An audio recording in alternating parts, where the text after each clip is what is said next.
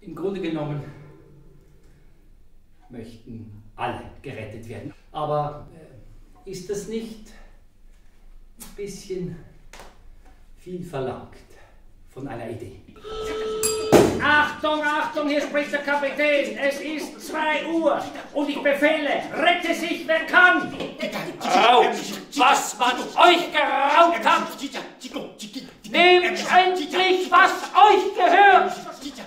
Auf was wartet ihr noch? Ah, Mai, das war ein Ding als die. Und da ging, es war ein Heiter, der hieß Schein. Da heizte den großen Kessel ein. Ja, es gab Erbsenbrei mit Speck. Da schwamm ihm auf einmal der Teller weg. Captain, ich esse Erbsen mit Speck und auf einmal schwimmt ihr der Teller weg. Der Captain sagt, Du hast wohl Angst, bedenke Schein, was du mir verdankst. Du setzt dich auf den schwarzen Arsch und ich setze meine Puppen ein Gemetzel, wie eine Bombe. Es blutet ja niemand, es wird ja niemand zerfleischt. Es ist nur so, dass es mehr und mehr wird.